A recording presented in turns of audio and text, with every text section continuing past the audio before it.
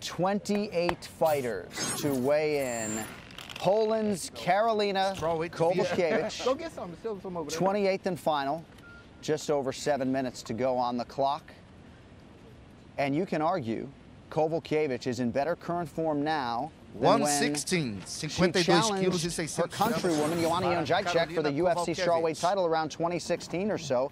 A lot of people buried this woman, never expected that she would reel off four or five straight wins in a row if she can beat Iasmin Lucindo Dessa this forma, Saturday night. encerramos a Carolina oficial da Kowalkiewicz will have five. Can- Yeah, Próximo na balança, categoria peso palha, Iasmin Lucindo. You know, that scared me because my producer said Jonathan Martinez was next, and I saw a bra. There is a no, but I love watching Lucinda fight.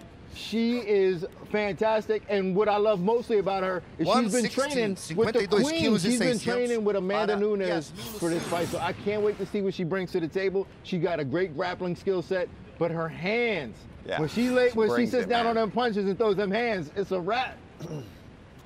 She will face the 13th ranked strawweight former world title challenger Karolina Kowalkiewicz. All right, next athlete to